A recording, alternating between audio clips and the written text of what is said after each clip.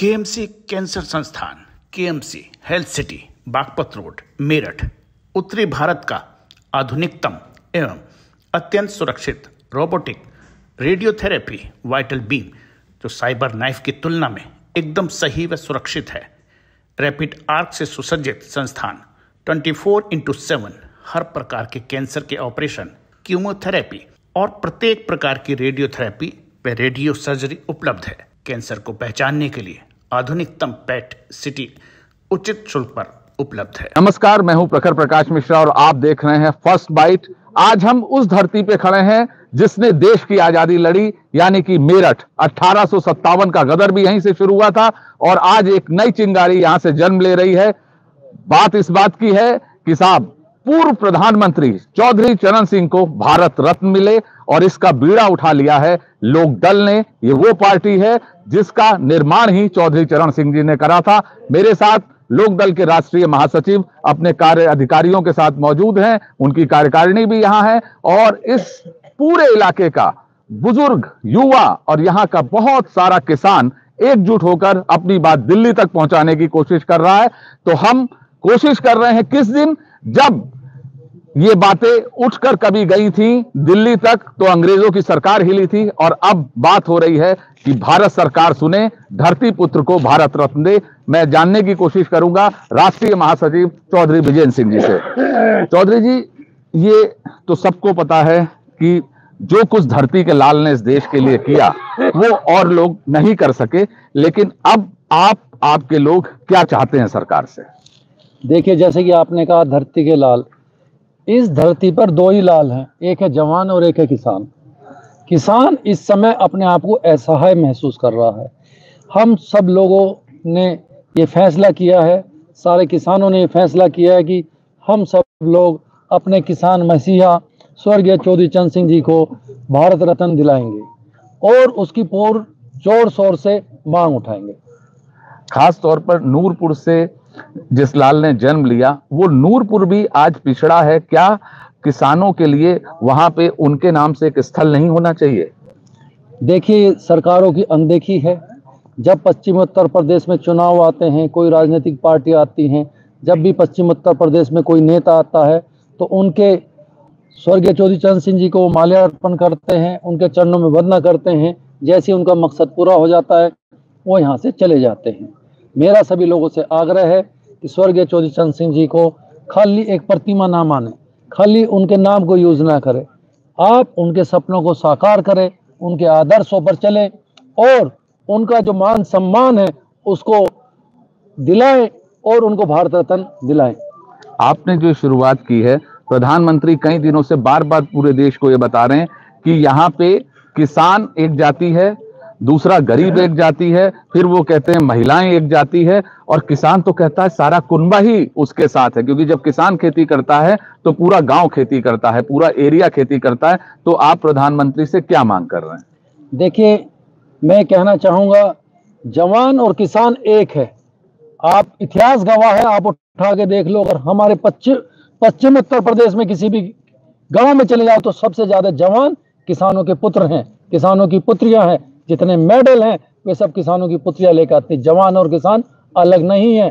जिसलिए ये नारा दिया गया था कि जय जवान जय किसान। जवान भी किसान की देन है। इसलिए किसानों के सम्मान में आप स्वर्गीय चौधरी चंद सिंह जी को भारत रत्न दिलाएँ और उनका मान सम्मान बढ़ाएँ।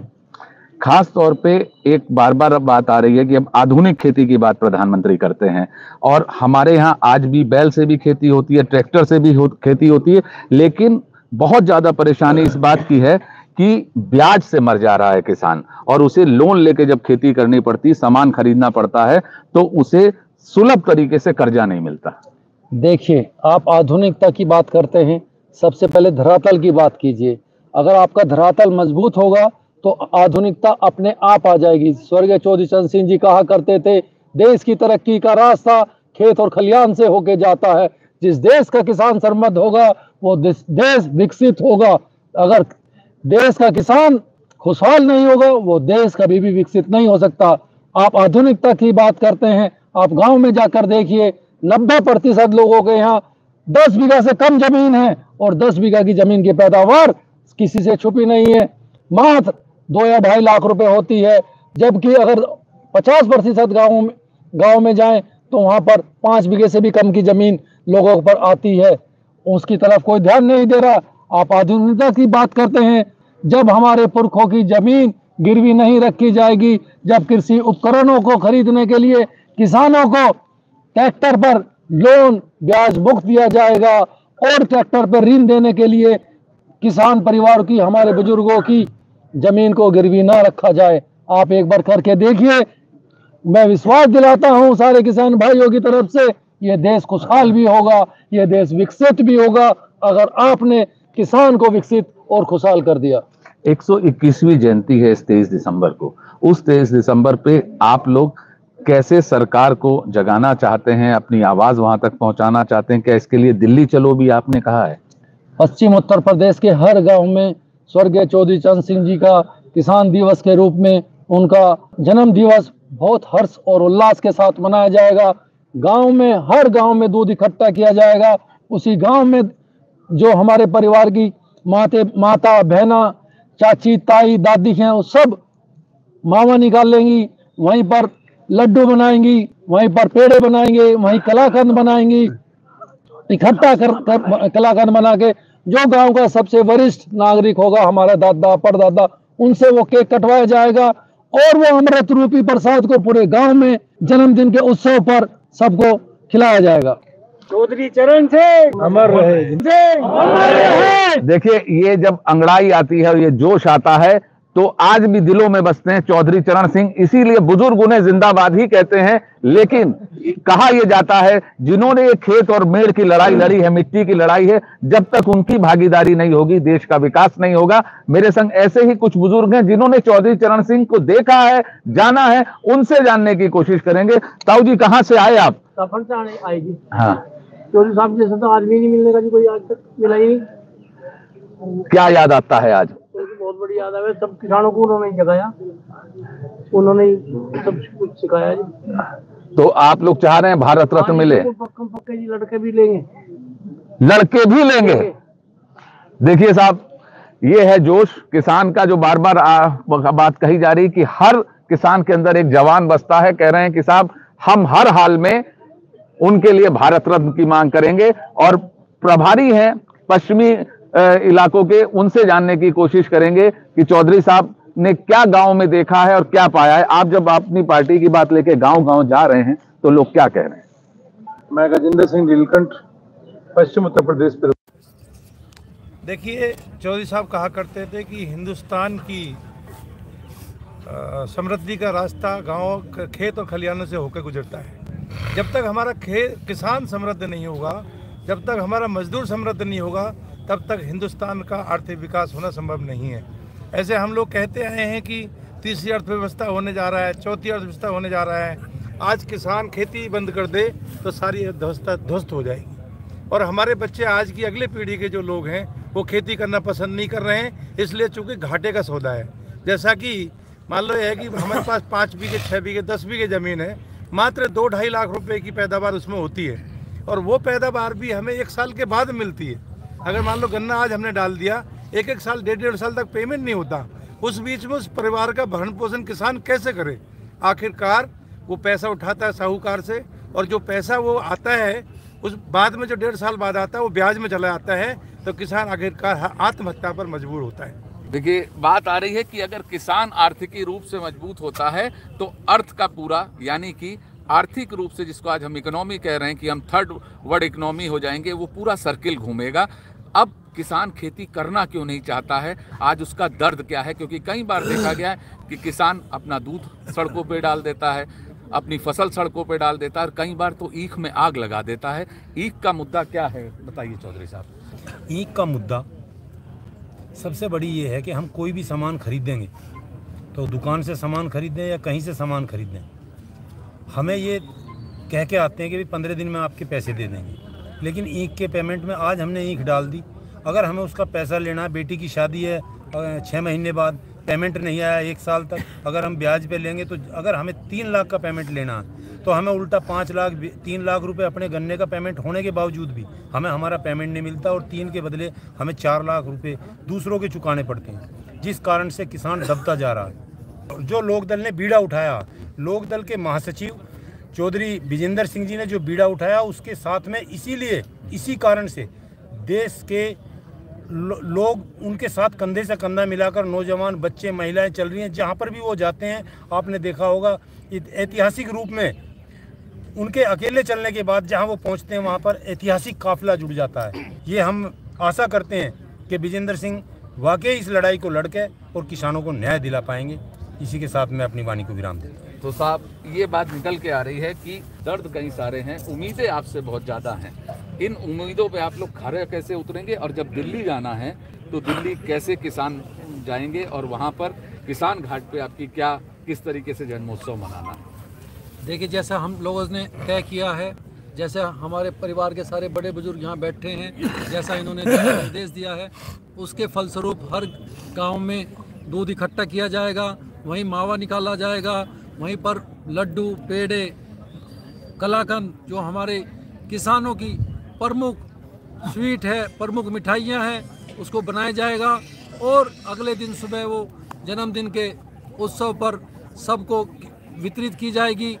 उसके बाद उस मिठाई को और उस गाँव की माटी को लेके हम सब लोग भिन्न भिन्न अलग अलग गाँवों से हर गाँव की माटी होगी, हर गाँव की मिठाई होगी और उसको लेके संकल्प लेंगे कि स्वर्गीय चौधरी चंद सिंह जी को भारत रत्न दिलाएँ तो भारत रत्न दिलाना है और ज़िंदा रखना है चौधरी चरण सिंह जी को अपने हृदय में। कुछ युवाओं से भी जानने की कोशिश करेंगे कि युवाओं को कम पता है इस बारे में लेकिन युवा क्या सोचते हैं उनसे जानने की कोशिश करेंगे। क्या लगता है चौधरी चरण सिंह जी के लिए जो मांग उठाई जा रही है उस पर आप क्या मांग देखिए समस्त भारतवासी का हाथ जोड़ के निवेदन है और मान्य नेताजी श्री विजेंद्र सिंह चौधरी जी जो इस काफिले और संग्राम को आगे लेकर चल रहे हैं वो केवल और केवल किसानों की लड़ाई है केवल और केवल मजदूरों की लड़ाई है केवल और केवल युवाओं की लड़ाई है। और इस लड़ाई को हम सबको साथ लेके मान्य नेताजी को हमें आगे बढ़ाना है।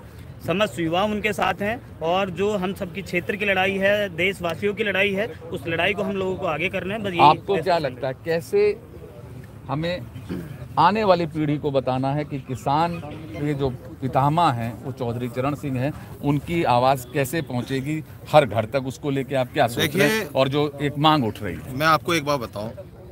ये जो लोकदल की पार्टी का गठन किया था ये स्वर्गीय चौधरी चरण सिंह जी ने किया था। और वो इसलिए किया था कि जब पूरे भारत में एक किसान बिरादरी है। उसको समृद्ध बनाने के लिए किया था। उनकी जो समस्या है, उनको उनको पटल पर ला करके उनकी लड़ाई करने के लिए किया गया था। और आप देख रहे होंगे, अब उसी बीड़े को जो हमारे बड़े भाई, हमारे नेता चौधरी विजेंद्र सिंह जी ने उठाया है, पश्चिम में लगातार धीरे धीरे धीरे धीरे सब लोग एक मंच पर इकट्ठा होते जा रहे हैं। और किसान की कोई बरादरी नहीं होती। किसान तो छत्तीस बरादरी में है। हर कोई यहाँ किसान का बेटा है, अगर कोई अधिकारी है, वो भी कोई किसान का बेटा है। अगर कोई बड़ा नेता है तो वो भी कोई किसान का बेटा है। सारे दल भी वहीं से निकले हैं। मेरा कहना है कि जितने भी बड़े बुज़ुर्ग हैं, उन सब के बच्चे हैं, हम जैसे बच्चे हैं, युवा हैं, वे सब बाहर निकल के आएँगे। भारत रत्न की मांग के साथ साथ जो भी हमारे पार्टी निर्देश होगा, पार्टी शीर्ष नेताओं का निर्देश होगा, उस पर जान लड़ा देंगे, लेकिन लेकर के आएँगे। तो एक बात बहुत खास तौर पर निकल के आ रही है वो ये है कि किसान की छत्तीस बिरादरी है और किसान ही देश को जोड़ता है और किसान ही हर तरीके से चीज़ों को आगे बढ़ाता है। इसी चीज़ को जानने की कोशिश करेंगे। खास तौर पर हमारे साथ एक और मित्र हैं युवा हैं। आपको क्या लगता है कि आज कॉलेजों में क्या शिक्षा में चौधरी चरण सिंह जी के बारे में कम बताया जा रहा है? हाँ कुछ ऐसा है। क्या चाहते हैं आप इस सरकार से? हम ये चाहते हैं कि शिक्षाओं में भी बताया जाए। बचपन जो छोटी क्लास से लेकर और ऊपर की क्लास तक चौधरी साहब का विषय होना चाहिए। चौधरी साहब ने बहुत सारी किताबें लिखी हैं, उनके बारे में बताएँ, किसान के बारे में बताया जाए सर। तो इशारा सारा शिक्षा में भी आना चाहिए। जी तो ये सारी चीज़ें, चौधरी विजय सिंह जी से चलते चलते लास्ट सवाल है। चौधरी जी, आप से बस आखिरी सवाल लेना चाह रहे हैं कि कहा जा रहा है कि ये पूरा कुनबा आप जोड़ने की कोशिश कर रहे हैं। तो इस पूरे कुनबे को क्या आज आप यहाँ संकल्प दिला रहे हैं? बस वो संकल्प बता दीजिए। हम कुनबे को जोड़ने की कोशिश नहीं कर रहे। कुनबा ऑलरेडी जुड़ा हुआ है। सारे साथ में है और सारे कुनबे ने कसम खाई है कि चौधरी साहब को भारत रत्न दिलाएँगे और उसके लिए जो भी कुछ करना पड़ेगा वो सब लोग करेंगे। आप देख रहे थे कि हमने ये बताने की कोशिश करी और ये बात सब तक पहुँचाने की कोशिश की है कि चौधरी चरण सिंह आज भी पूरी तरीके से दिलों में ज़िंदा हैं और एक डर ज़रूर है किसान के अंदर कि साहब उन्हें भारत रत्न मिलना चाहिए। अब देखते हैं कि क्या ये आवाज़ दिल्ली तक पहुंचेगी, जिसका बीड़ा लोकदल ने उठाया है। मैं प्रखर प्रकाश मिश्रा, फ़र्स्ट बाइट के लिए मेरठ से।